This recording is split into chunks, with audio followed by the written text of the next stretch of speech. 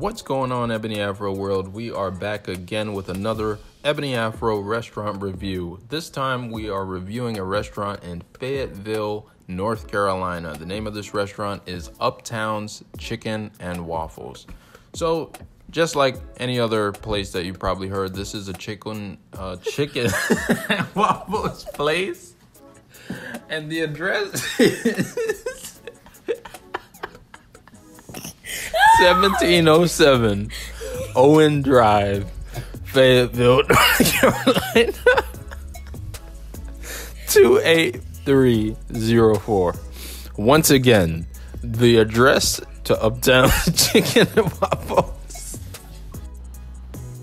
1707 Owen Drive, Fayetteville, North Carolina 28304. Again, that is 1707 Owen Drive, Fayetteville, North Carolina 28304, folks. So we decided to check out this chicken and waffles place. Um, what'd you what'd you search for to get this place? Um, black owned businesses in North Carolina. Okay. So you search for a black owned business in North Carolina, in particular Fayetteville, North Carolina, and we found Uptown's Chicken and Waffles. Yes. Uh, so we went out to Uptown's Chicken and Waffles. Uh, it looks like Uptown's is actually uh, attached to what looks kind of almost like a hotel, almost.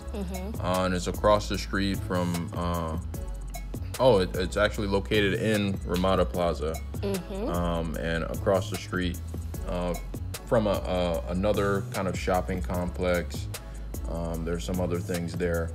Um, so one of the first things that we saw when we pulled into the parking for Uptowns is that parking was packed. And so part of that could be a combination of the other businesses that are in the area. Uh, but we ended up finding parking that was closer to, uh, I believe it was the fire department. So kind of uh, closer to the, the end of the building, we were able to find a parking spot, fortunately. Came out of the car, we walked up to Uptowns. Uh, it's got a great um, big Uptown sign. Um, the building itself, it's it's okay looking. It's not like um, you know this big fancy building or a, a building all by itself. Like I said, it's kind of affixed to some other establishments there. Um, there is an arrow that'll tell you where the entrance is. And then once you go into um, Uptowns, you open up the door. Uh, to your left, you're going to see the symbol of the restaurant, um, which is a black chicken. And behind the black chicken is a waffle. Yeah, folks. So when we arrived, it was actually packed. Um, so all those cars that we saw in the parking lot, I think most of those were Uptown's business.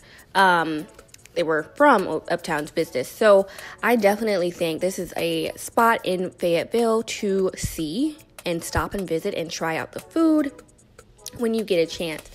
Now, I had what's known as the Uptown. So this is the main thing. Um, people go to the famous dish, and it's the chicken and waffles, of course. It comes with four golden fried chicken wings and your choice of a buttermilk waffle with one sweet add on. So I ended up getting the classic waffle and having the maple pecan as my sweet add on, um, and that is the butter. Okay, um, what did you have, Nate?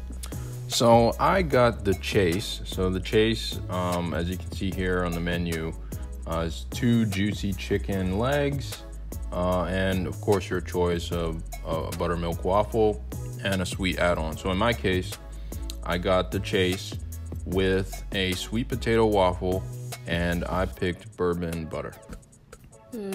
he got the sweet potato waffle. And i didn't even get to try it y'all. I didn't even i didn't bother him. I said okay he's gonna enjoy his food without me you know tasting and dabbling in his food. But it looked delicious his food looked, looked, looked delicious and so did mine um yeah got anything Yeah. So one of the things that you know you'll notice when you walk into the the restaurant, um, as soon as you walk in, there's a kind of a long hallway, And alongside that hallway are a series of chairs for any type of overflow waiting area. Once you get past that area, you're actually in the restaurant itself. And you'll be greeted by uh, some waitresses. Um, all of the staff that I saw was black. Did you say that? No, I wouldn't say that. I actually saw one or two white waitresses there, but majority of the staff was Okay. black. Um, the people in the bar uh, serving were black. Um, the waitresses mostly black. The guys in the kitchen mostly black. I saw like maybe one white waitress, maybe 2 Um, and then the hostess, they were black. Um, the people who were directing the to-go traffic were black. Um, but yeah, mostly black workers, employees. Yeah. So you'll be greeted. Um, once you're greeted, if if you know if there is some type of wait, they will ask you for uh, a phone number and your party's name or your name, and then uh, once you uh, submit that information to them, you'll get a text on your phone. It'll basically say, "Hey, you know, welcome to um, Uptown's Chicken and Waffles. Uh, thank you for you know waiting, and we're gonna send you a text or give you a call when um, your table is ready." Um, so in our case, we had about uh, we were told about a 30 minute wait.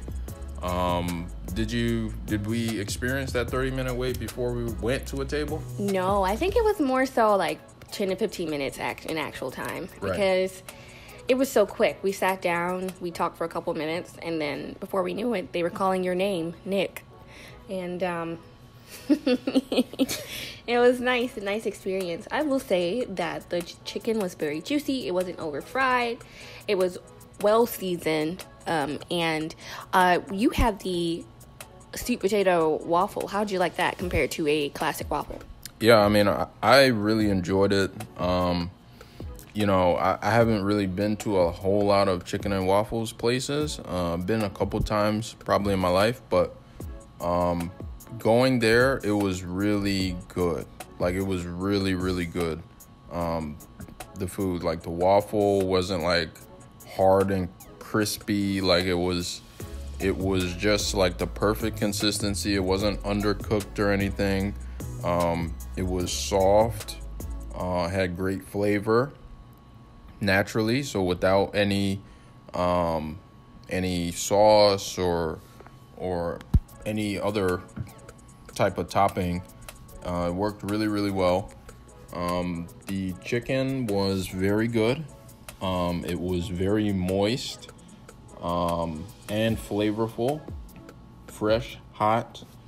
Um, and honestly, I would compare the chicken to, I mean, pretty much any, you know, I'd say it's pretty much like probably the best fried chicken I've tasted outside of like, you know, your KFCs and all that type of stuff.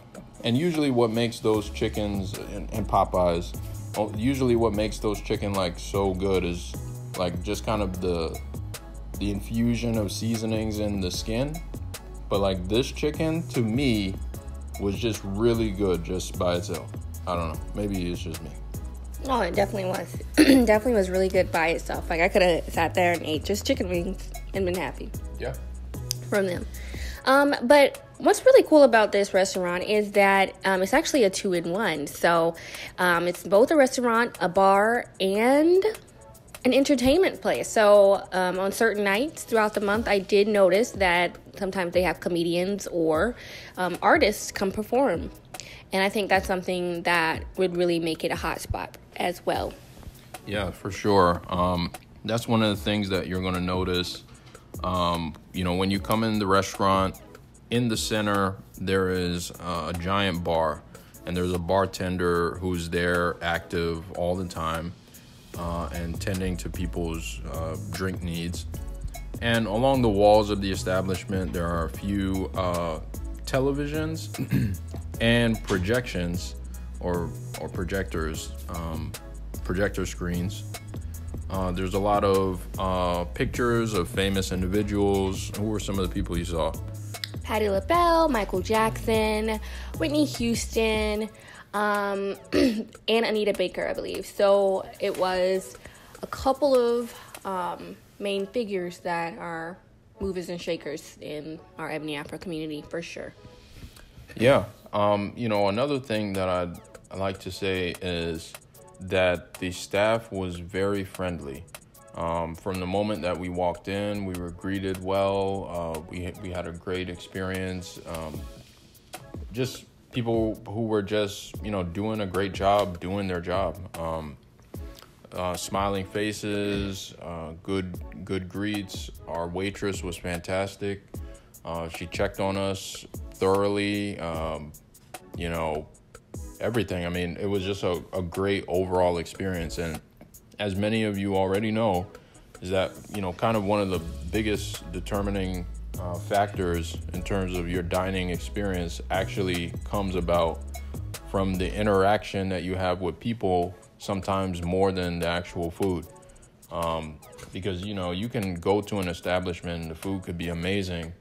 Um, but if you have poor service, um, and you have a situation where you're waiting three hours or your waiter or waitress is not being attentive to your table or you know if there's just kind of like uh, weird pricing things or what's on the menu is not there or you know stuff like that those things can really deter your experience. So uh, overall i would say that was a fantastic experience i would definitely recommend it um, you know and you know, we spoke about the the wait staff and all of the staff at the restaurant, and overall the demographics. I would say probably 98% of everyone that we saw at the restaurant was black. Mm-hmm. It's probably about 2% who were maybe Hispanic uh, or white mm-hmm. uh, at that restaurant. So it's, it's, a pretty black environment overall. Um, so if that's something that you're looking to be a part of, to experience, I would definitely say check out Uptown's Chicken and Waffles. For sure. And that's all we have for you guys today. All right. There you go. we'll see you guys next time. Remember to like and comment. We want to hear you down below. Um, what are your thoughts on this um, establishment? Will you go and visit? Take some time if you're ever passing through or maybe visiting Fayetteville to check out Uptown's Chicken and Waffles. Uh, we have I Am Ebony Afro on all platforms, and so please follow us. Remember to follow us on Instagram, Facebook, and Twitter. We're also on Rumble now, so check that out as well. Um, and we'll see you guys next time.